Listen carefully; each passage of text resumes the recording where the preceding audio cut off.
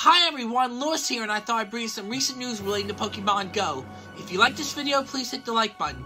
Be sure to subscribe to my channel and hit the bell for alerts when I upload new content to the channel, especially those with disabilities similar to mine. This just in, yesterday, Niantic launched Thundurus, the flying and electric type legendary Pokemon from Unova into Pokemon Go.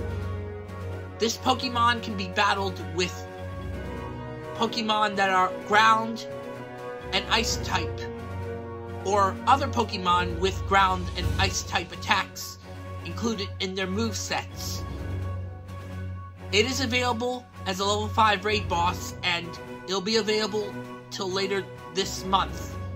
In other Pokemon news, this month within Pokemon Go, we got a list of events including the new Team Go Rocket event, which of course we have to rescue Shadow Raikou from Giovanni. We also got a Team Go Rocket takeover coming up in the game. We also have a Psychic type Pokemon event, which includes the launch of Shiny Claydol into the game. And of course, March 22nd is Abra Community Day instead of Snivy Community Day, which means Snivy will probably be held back until possibly the fall because of the way Niantic is releasing starter types for their respective community days and the fact that we're likely going to get Pokemon from the Kalos region, Gen 6, later in the fall this year. One more thing. I know I said last week that I would release my Pokemon Go play video, but things have been slow, so it's coming. In fact, it's out as we speak.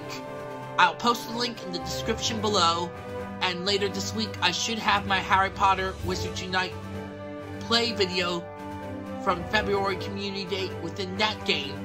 And I also got my next documentary possibly coming up with me returning to the 2020 Philadelphia Travel and Adventure Show at the Pennsylvania Convention Center and Center City, Philadelphia, and going up to Secaucus, New Jersey in the Meadowlands for the scuba diving convention beneath the sea, and so much more. Stay tuned, everyone, as I will have that video, if it gets made, up soon.